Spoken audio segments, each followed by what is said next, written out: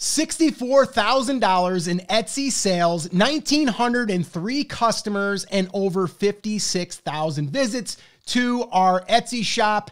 And, well, a lot of lessons learned. Here's the deal though. In the last five months, most of those sales came in.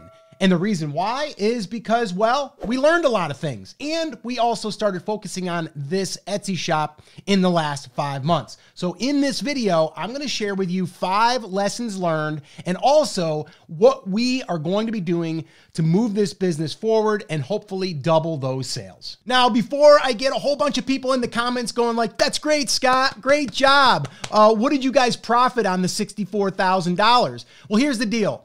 On average, we are netting around 45 to 50%, and that's net profit after all ad spend and basically after all expenses. This is also a print on demand Etsy shop. So I just wanted to get that out of the way. So if you want to ask that question, you can in the comments, but that's the answer. Now, let me just say that when you are actually doing stuff, I know a lot of people, they like to learn stuff. I like to learn stuff but I also like to apply stuff and see what happens. Well, when you're able to apply different lessons and different strategies, you start to see what works and what doesn't work. And that's what I'm going to be sharing with you the things that worked and the things that we're going to be doing more of. There's also a couple of things that I'm going to be sharing with you. Actually, one of them I'm calling a little bonus because there's something that I didn't realize until we started doing this that is huge. It's a huge opportunity, and it's something that we are really able to leverage now, and we're going to leverage it even more in 2023. And let me just say that number five that I'm going to share with you guys, that thing,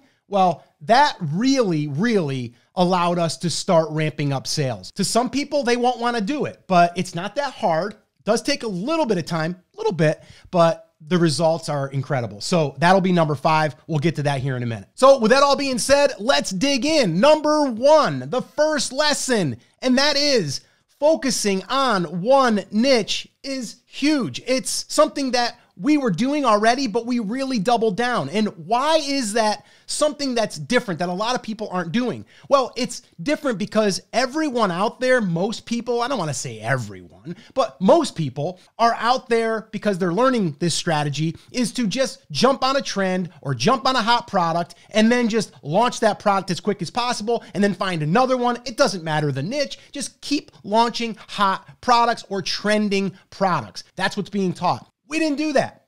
We're not going to do it because focusing on one niche has really allowed us to ramp up the business. It also makes things a lot easier. And here's the cool thing is when you focus on one niche, you're going to be able to dominate that niche because there's not a lot of people doing it. So now if someone comes into your shop and they're like, "Wow, this place is all about RVing, all about camping, all about traveling wow, this is a cool store. When someone comes into our shop, we want them to know that they found the shop that is dedicated to this niche. And that's exactly what we've done. And when you do this, the other thing that this allowed us to do is not get distracted with trying to find the next trend or find the next hot product.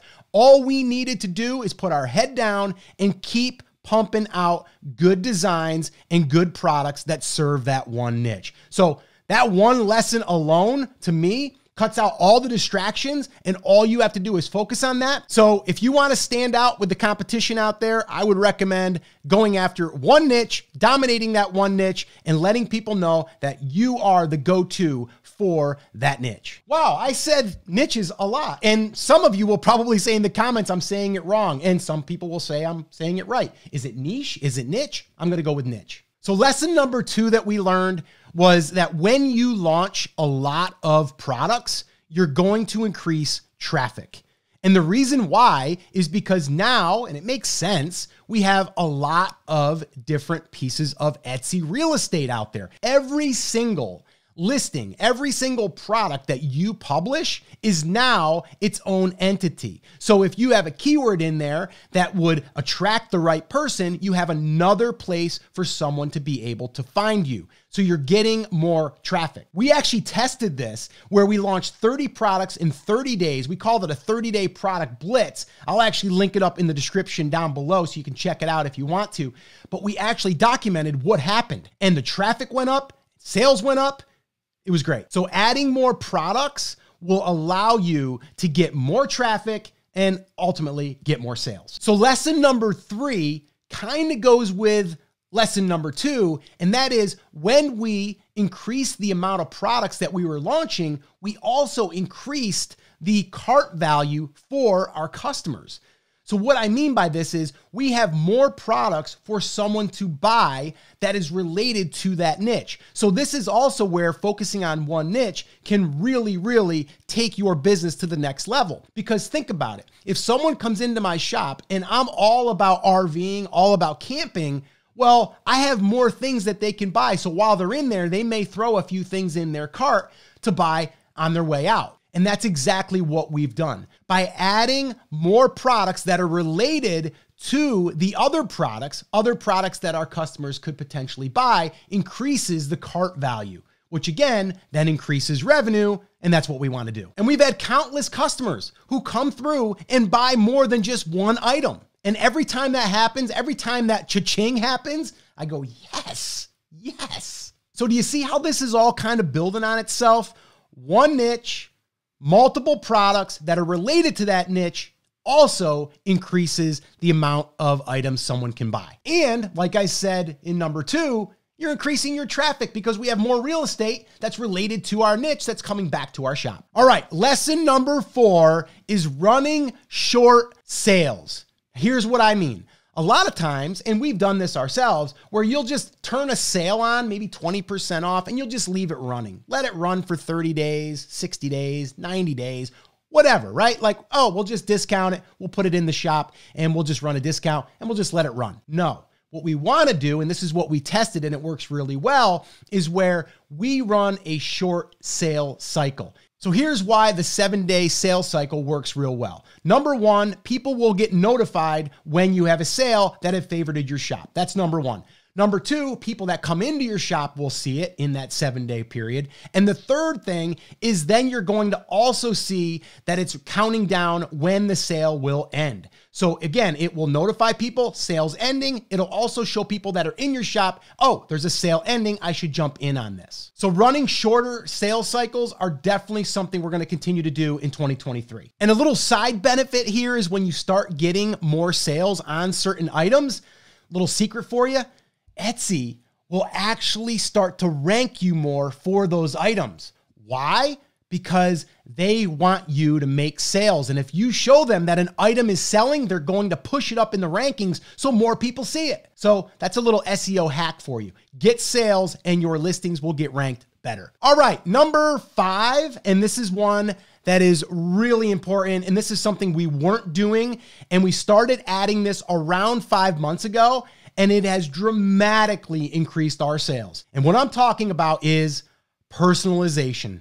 So, for a couple of different reasons, this really increased our sales. Now, I don't mean it's a huge customized product. I'm talking about putting someone's name in the item. So, all you need to do is just create a template and then you're just going to put their name in it. And then from there, you're going to upload it to your print on demand service. In this case, we're using Printify and we're using Teelaunch. So all we do is just go into Canva, we pull up our template, we change out the name, we customize it, and then we re upload it, and then they print it. That's it. So we added that. And when we did, immediately we saw an increase in sales. And now, because we're able to put that personalization or personalized item in the title, we're also going to start showing up for search results, which again will bring us more traffic. So adding personalization made a huge difference for us, and we're definitely going to be doing more of that in 2023. All right, and the last little lesson here I want to give you this is, I'm calling this my bonus lesson because this is something I didn't realize until about two months ago.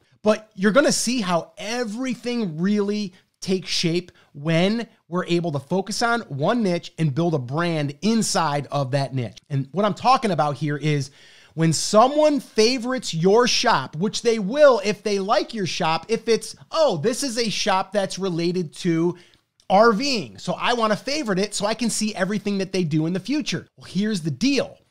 When someone favorites your shop, you're going to be able to show up in their notifications and they will most likely get emails from Etsy because what they've done is they've raised their hand to say, hey, I like this shop. I want to get notified by this shop. So when we run a sale, guess what? They get notified. When we add new products, guess what? They get notified. When we run out of inventory, they're going to know about it. But when we get inventory back, they're going to know about that too. When we're running all kinds of things on our shop, they're going to know about it. So having the ability to be able to add something to our shop or have something happen in our shop and then have those people get notified is huge. And that's why we really want to take time to build out our brand inside of Etsy and really build out our shop so people are more inclined to favorite it. So getting those favorites are actually more valuable than I thought. And when I get them now, I go, yes, yes. So there you go, guys. After $64,000, and really a lot of that was done in the last five months,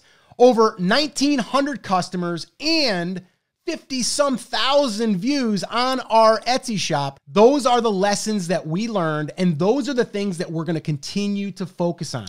Hopefully, you found this valuable. If you did, do me a favor, smash the like button, leave a comment down below. Let me know if you have any questions. And if you did enjoy this video, I'm to put another video right here where I go over four one minute hacks to increase sales that we've used and that we're to continue to use. And I go in depth on how to use them. They only take you one minute each. Check it out. And once again, guys, I really enjoyed making this video for you. Hopefully, you got a ton of value from it, and I'll see you in the next video.